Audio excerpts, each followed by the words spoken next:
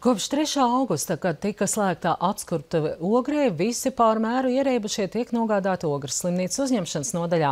Ar šādu kārtību nav apmierināti ne mediķi, ne slimnīcas pacienti. Tikmēr pašvaldības policijā skaidro, ka atstāt cilvēku bezpalīdzīgā stāvoklī viņiem nesot tiesību, bet citu iespēju nesot. Vairāk TV spektrs. Ogrē valsts policijas izlaicīgās aizturēšanas izolātārā ilgus gadus atradās arī atskurtuvi. Tas gan nav bijis īsti likumīgi, tāpēc pēc remonta darba pabeigšanas tai vieta vairs neatradīsies.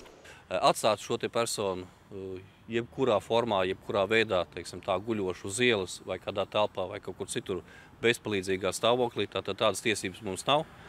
Un mēs to arī, mēs to arī uh, nedrīkstam darīt. Līdz ar to uh, šobrīd tiek meklēti kaut kādi, jāsaka tā, pagaidu risinājumi. Un tie izpaužās lielākoties tā, tā, tādā faktorā, ka principā visi šie klienti tiek šobrīd nogādāti Ogres rajona slimnīcā.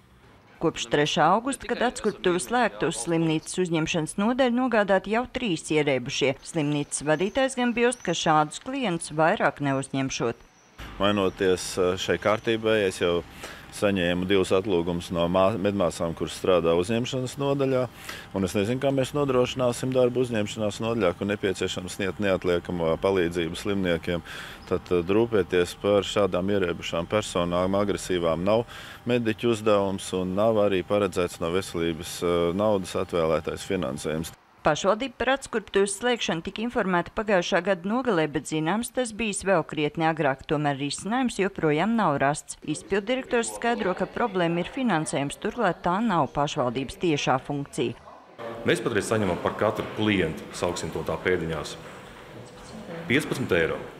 Es esmu sarēķinājis konkrēti kopā ar finansistiem, ka mums izmaksā 127 eiro viena šāda cilvēka uzturēšana viena, vienas dienas garumā.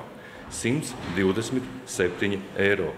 Labākais variants esot līguma noslēgšana ar citu pašvaldību, kur jau ir atskurtuvi, vai arī jaunas izveida kopā ar kaimiņu novadiem. Tomēr šīs jautājums nesot ātri atrisināms. Šā gada septiņos mēnešos ogres atskurtuvi izmantojuši 470 klienti. Sandra Leitāni, Andrs Pāns, TV Spektrs.